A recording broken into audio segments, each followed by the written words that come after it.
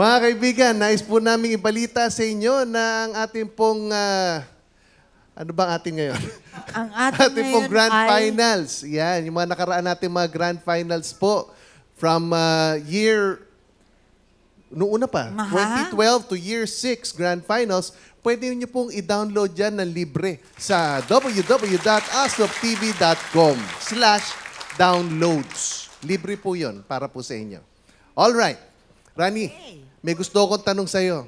Napakalinaw. Bilang ah, isang composer na nakapag-compose na ng sobra-sobra o may pa sa 2,000 kanta, anong klasing inspiration ang pinagkukuna? Saan mo pinaguhugutan yan? Alam mo yung inspiration, di, per, pera biro to. Hindi, kaya eh, ah, tutuloy Oh, ko lang. Kaya ako sige. gustong malaman kasi gusto ko maintindihan ko ano yung driving force ng mga composers na nagsasubmit ng mga kanta dito sa atin. Ah, hindi. Kanya-kanya yan. Eh. Ang driving force ng mga composers dito ay yung pagmamahal sa Panginoon eh. Well, ako rin, ganun din. Okay? Pero sa dami ng sinulat kong kanta, tinatanong rin sa akin, saan mo na hinuhugot itong inspiration na to? Correct. Well, sa akin, ang totoo niyan, 50% ay mga personal experiences ko. Okay? Ah, 30% mga experiences ng mga taong kilala ko, malapit sa akin. 60 na yun, 60. ah. Ano na, oh. 60. O de 70, ano na, May 80 na. 40 na.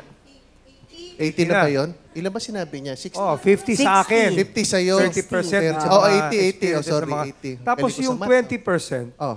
eh kung ano nakikita ko lang sa sa paligid ko, lahat ng inspirasyon nandiyan dyan. eh. Binigay na sa atin, pre-provide na sa atin. eh, Di ba?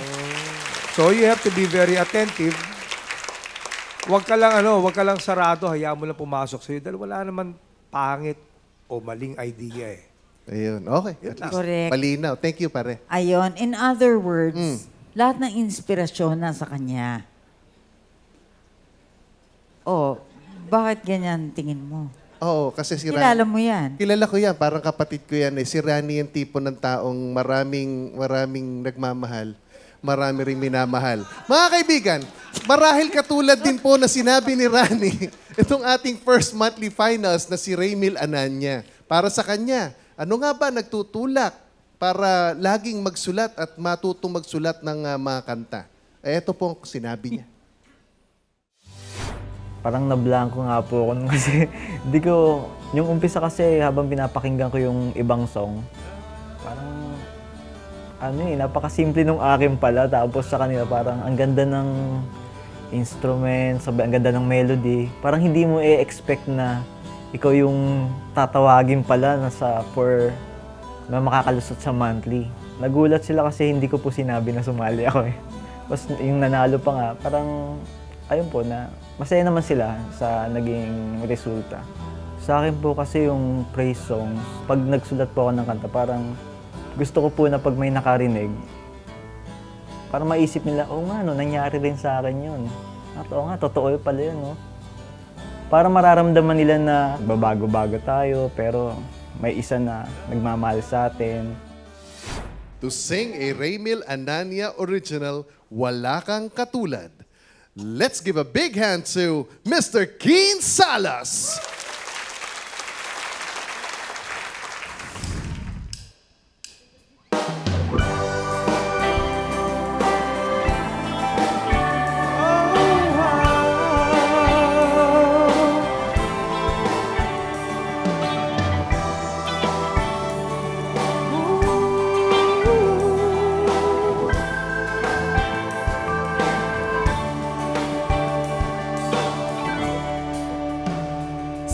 Sa pagising napuputol ang anumang panaginip At ang isang naghihintay umaalis pag nainip.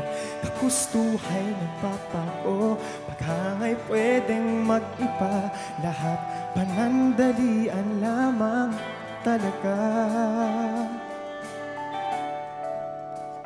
Nauubos ang salapi kapag ito'y ibinili Pagbabago ay naluluma Ang pagtanda ay madali. Trabaho ay natatapos Katanyag ay lumilipas. Ngunit pag-ibig mo'y hindi nagwawakas Panginoon, wala kang katulad. Di nagbabago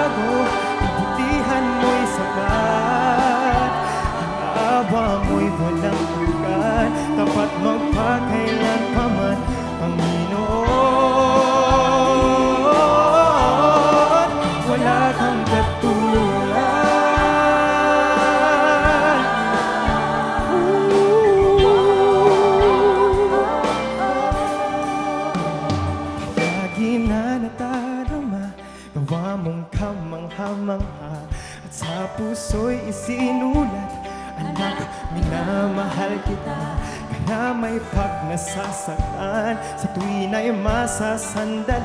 O Diyos, Ama, ika'y hindi nagkukulang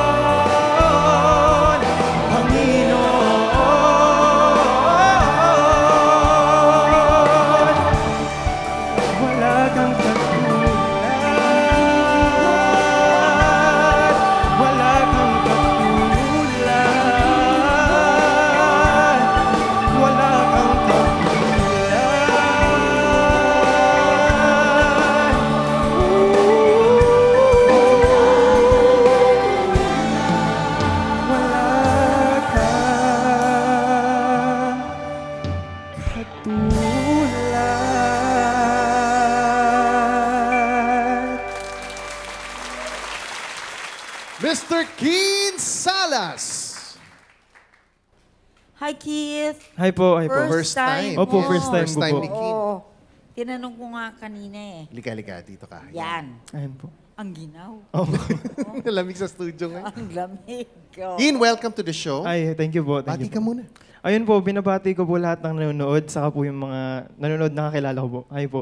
Paano yung mga hindi mo kilala? Hindi mo Ayun po, pati hindi ko po kilala. Hindi mo na rin. Ayan. Oh. Ayun po. Mamaya, Kin, mamaya alamin natin kung anong ah, pinagkakaabalahan mo. Pero ngayon, ito po ang composer na wala kang katulad, si Raymil Anania. Mula sa Tandang Sora, Quezon City. Hi, Remil. Raymil, ano masasabi mo sa pagkakakanta ni Kin? Maganda po, maganda. Thank you, thank Happy you. ka. Happy, happy. Ayun. Ah, ganon. Hindi na natin patatagalin ha, kasi Yes. alam mo, monthly finals to eh. Oo. I'm sure marami sasabihin yung mga judges natin. Kaya simulan na natin ang pagtatawag. Ano tingin mo sa awitin niya, Mr. Ronnie Raimundo? Eh, maganda yung kanta. So, doon pa lang. No? Ah, meron, meron isang ah, part dito. Hindi naman ako perfect sa sa Tagalog. Eh, no? Oh. Pero ito siguro, no, yung sa second verse, yung naubos ang salipe pag ito'y ibinili. Hindi, hindi ba dapat pinambili? Kasi hindi mo naman binili yung pera. Eh. Diba? So, i- paki-note mo yun. Kapag ito'y ibinili. Palagay ko, pinambili. I okay, ipinambili. So, hindi mo binili yung pera. Tapos niyan, um, yung construction nito, iiwanan ko yan kay, kay Doc Mon. Eh, no? Pero ang, ang concern ko dito is yung pronunciation ng mga salita.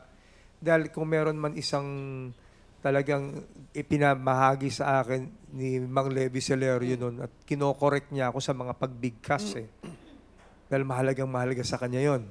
Eh, naintindihan ko rin na pag minsan, naiiba natin yung pagbigkas para pumasok sa bara o pumasok sa melody.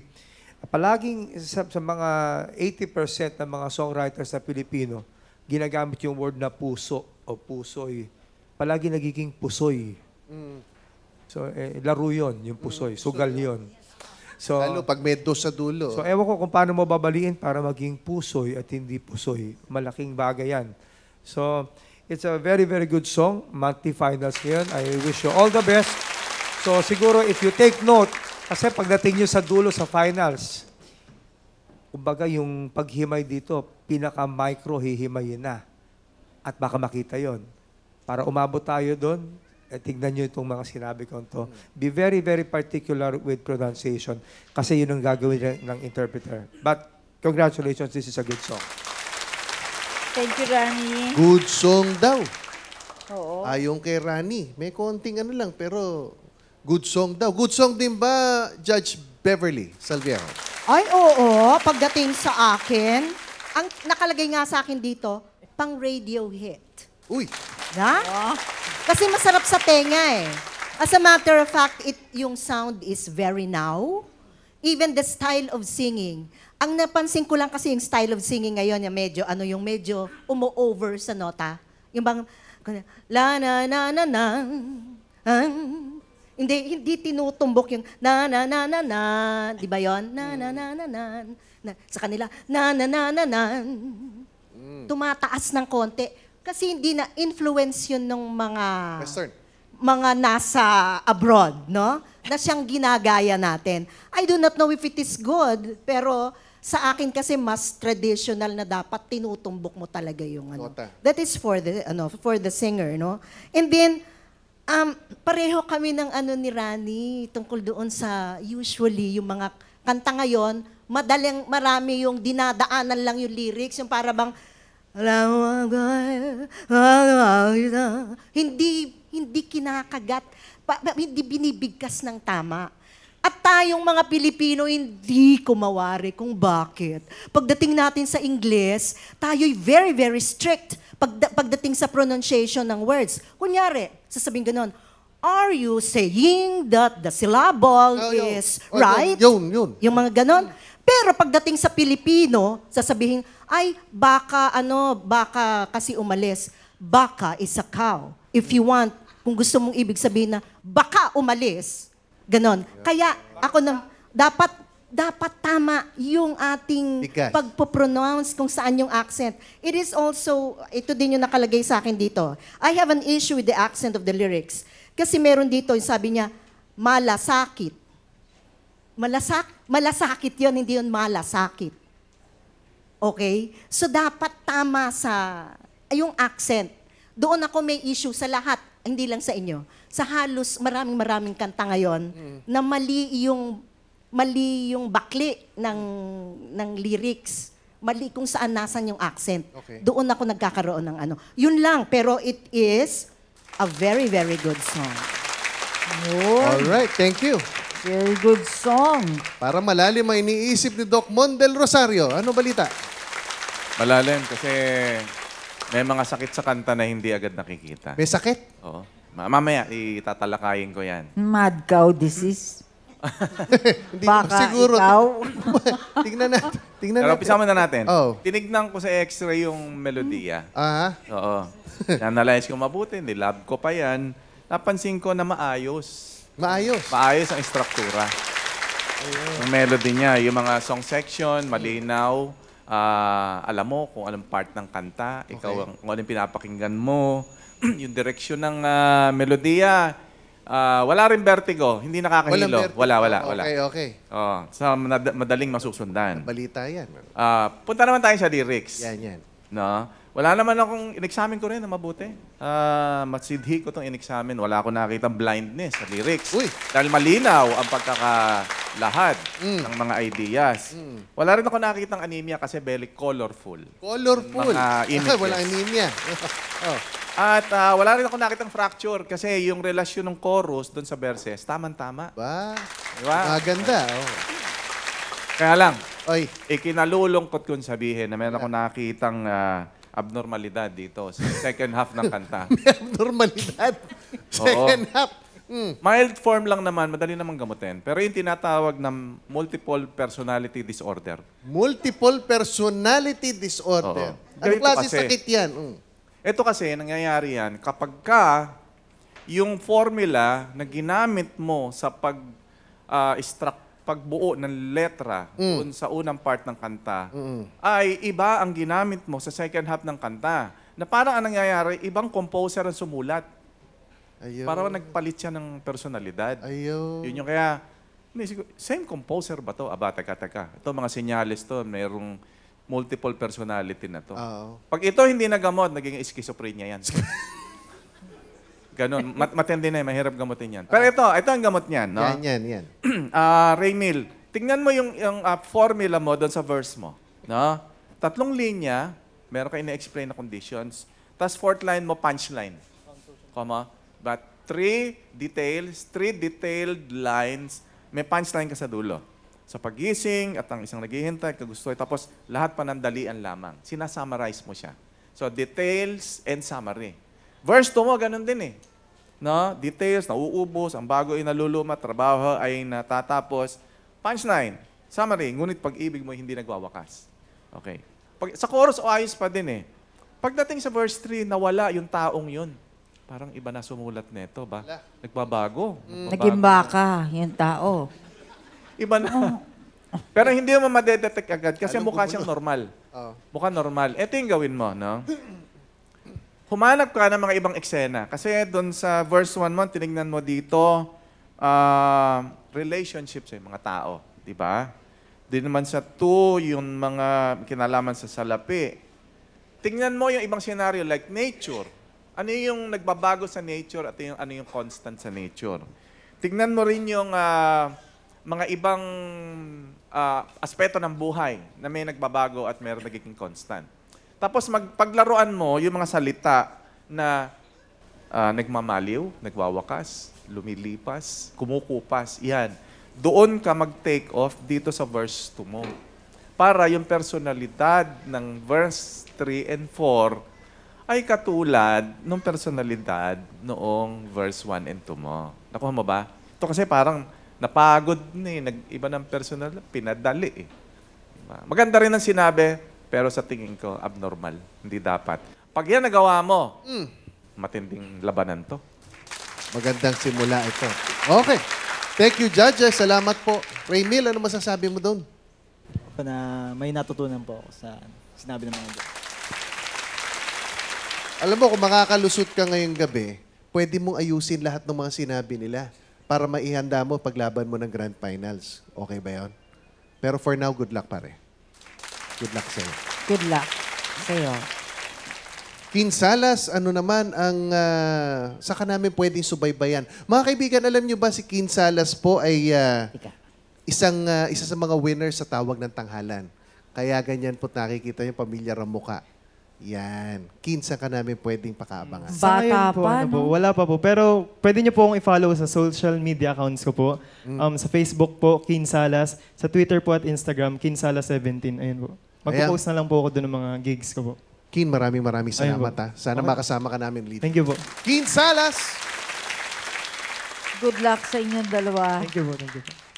Maya-maya po mga kaibigan, nanalo ng second weekly elimination sa Producer's Pick. Ang ating po susunod na composer, eto po't magbabalik po ang kanyang awitin at ilalaban sa monthly finals. Kilalanin po siya, ito pa rin po ang paborito niyo tuwing linggo, ang ah, Song of Praise Brasil, sem